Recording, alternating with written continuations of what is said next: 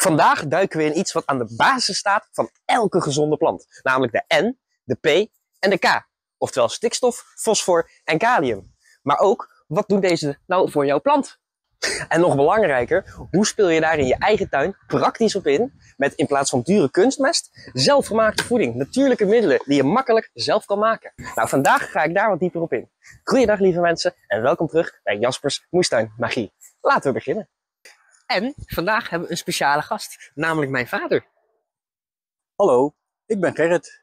En in het verleden heb ik eh, lesgegeven aan de tuinbouwschool in de vakken groenteteelt en bloementeelt en bodemkunde en bemestingsleer. En verder heb ik mijn hele leven in de professionele tuinbouw gewerkt. En hij gaat ons zo meteen nog uitleggen waarom je eigenlijk niet al te veel voedingsstoffen moet geven. Elke plant heeft voeding nodig, net zoals wij mensen. De drie hoofdelementen die planten als voeding gebruiken zijn als volgt. En, oftewel stikstof. Dit komt dan ook uit het Latijnse woord nitrogenium, wat op het periodieke systeem der elementen ook wordt aangeduid met de N. Het geeft planten groeikracht. Het zorgt er onder andere voor dat de planten goed kunnen groeien, dat ze veel bladeren kunnen aanmaken en dat ze ook bijvoorbeeld de bladstengels goed kunnen aanmaken. Een jonge plant, zoals bijvoorbeeld deze pompoenplantjes hier, ja, die moeten nog groot en sterk worden. Dus die hebben relatief veel stikstof nodig. Je moet ze natuurlijk niet te veel geven. Hoeveel precies? Ja, dat verschilt een beetje per plant en zelfs per ras, per verschillende planten. Verschillende pompoenplanten hebben ook verschillende behoeftes. Dus blijf even kijken voor de praktische toepassingen daarvan. Dan komen we bij het tweede element, oftewel P, fosfor. Dat komt uit het Latijnse woord fosforus en is eigenlijk belangrijk voor onder andere de wortelgroei en hoofdzakelijk de bloeivorming. Dus heel veel mooie bloemen, ja, dan heb je heel veel fosfor nodig. Bij kalium komt de letter K dan ook van het oorspronkelijke Latijnse woord ervoor. Zoals wij hem ook gewoon kennen, kalium. Hartstikke makkelijk. Kalium maakt planten harder. Het geeft ze stevigere cellen, zorgt voor sterkere planten en gewoon over het algemeen voor dikkere vruchten. Denk bijvoorbeeld maar aan een grote stevige vleestomaat. Of zelfs een banaan. En wanneer de bloemen zijn veranderd in zulke soort vruchtjes, ja, dan is kalium essentieel om er van dit soort grote, sappige vruchten van te maken. En dat is ook waarom in bijvoorbeeld de schillen van verschillende planten, zoals een bananenschil of wortelschil of wat dan ook, heel veel kalium zit. Als je dit begrijpt, dan weet je hoe je jouw planten kan geven, wat ze nodig hebben, wanneer ze dat nodig hebben. Maar hoe je dat precies toepast, ja, daar gaan we nu even wat dieper op in.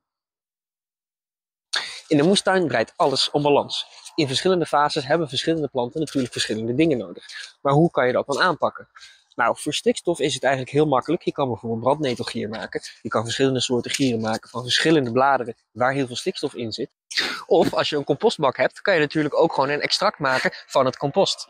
Op die manier krijg je ook heel veel stikstof, want vooral stikstof is wateroplosbaar.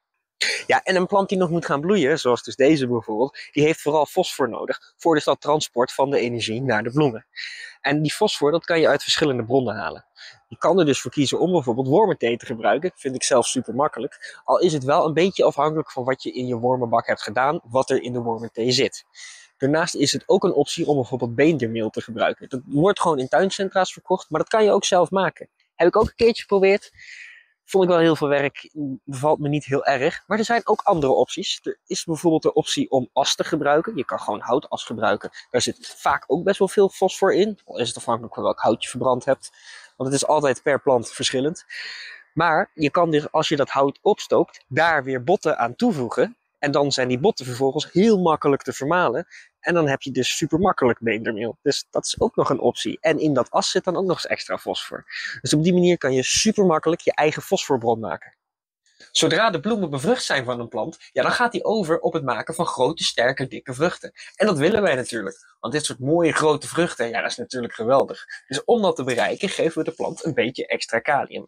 Goede bronnen van kalium, nou onder andere houtas, dat kan je ook als kaliumbron gebruiken. Er zit en fosfor en kalium in. Alleen de stikstof vervliegt eigenlijk als je planten verbrandt, waardoor dus fosfor en kalium overblijft. Daarnaast kan je er ook voor kiezen om bijvoorbeeld verschillende schillen van planten te gebruiken. En het mooie is, je hoeft niet naar een tuincentrum om allemaal dure flesjes voeding te gaan halen. Je kan makkelijk zelf je eigen voeding maken van bijvoorbeeld GFT-afval zoals bananenschillen of brandnetels of smeerwortel of ja, wat dan ook. En dat maken van gier, dat gaat eigenlijk op één manier. Die gaan we nu even uitleggen. Stap 1. Neem een emmer of grote pot. Stap 2. Vul die voor maximaal de helft met het plantmateriaal dat je wilt gebruiken en de andere helft water. Minder plantmateriaal mag natuurlijk ook, dan wordt de gier enkel wat minder sterk. Stap 3. Zet het mengsel weg op een warme plek. Het liefst buiten, want het kan nog wel gaan stinken. Tenzij het natuurlijk winter is, dan bevriest het misschien. Stap 4. Roer er af en toe doorheen. Het liefst 1 à 2 keer per dag.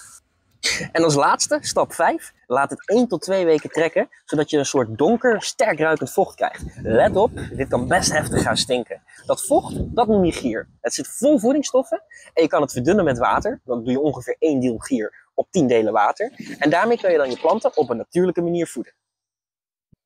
Nu je de basis kent, kan je eigenlijk eindeloos variëren met verschillende ingrediënten.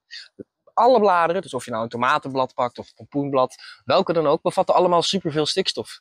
Je kan er ook voor kiezen om bijvoorbeeld verschillende schillen te pakken. Of je nou de schil van een wortel pakt, van een ui, pompoen, banaan. Alle schillen van vruchten bevatten gewoon superveel fosfor en kalium.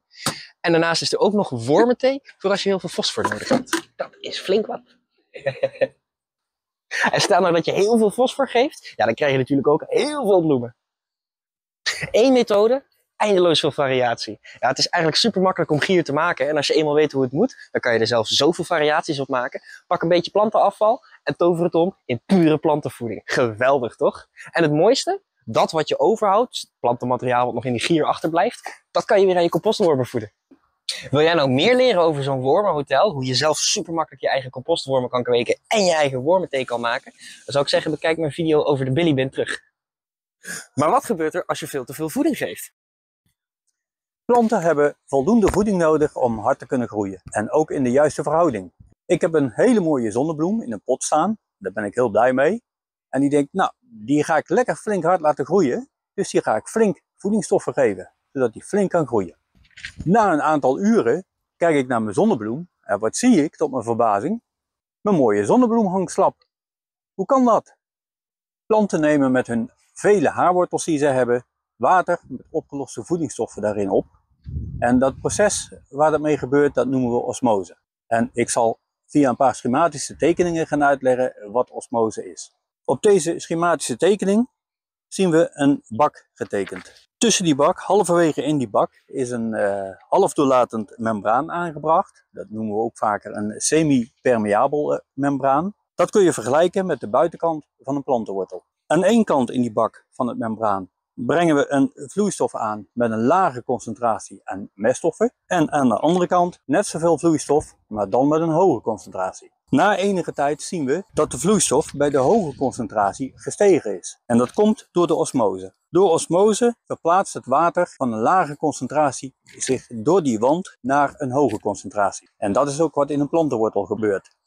We kunnen deze kant vergelijken met de bodemvocht, waar de wortels in zitten. Dit is de buitenkant van de plantenwortel en dit is de hogere concentratie van uh, meststoffen in de plant zelf. Na verloop van tijd zien we dat de vloeistof met de lage concentratie zich verplaatst heeft door die wand naar de hoge concentratie. Dit is wat ook gebeurt in de plant. Uh, de wortels die nemen dat vocht uit de bodemvocht op. Dat gaat via de vaatbundels naar boven naar de bladeren. De bladeren verdampen en dit proces blijft continu doorgaan. Nu komt de verklaring waarom mijn mooie zonnebloem slap is gaan hangen. Ik heb de zonnebloem heel veel voedingsstoffen gegeven, zelfs zoveel dat de concentratie in het bodemvocht hoger werd dan de concentratie in de plant zelf. En dan krijgen we niet dat het vocht vanuit het bodemvocht de wortel intrekt, maar juist het tegenovergestelde. Het vocht trok vanuit de plantenwortel de bodem in. Dus mijn plant werd eigenlijk gewoon leeggezogen. Conclusie, te veel voedingsstoffen, hoe goed ook bedoeld, kan de dood van je planten zijn. Als je begrijpt hoe NPK werkt, dan snap je ook hoe planten groeien. Maar wist je dat als je een gezond bodemleven hebt, dat al deze voeding dan eigenlijk helemaal niet eens nodig is? Nou, als je wil leren hoe je een gezond bodemleven krijgt, dan zou ik zeggen, bekijk mijn video over multje. Hartstikke bedankt voor het kijken van deze video, lieve mensen. En hopelijk tot de volgende keer. En daar gaan we nu even wat dieper op in.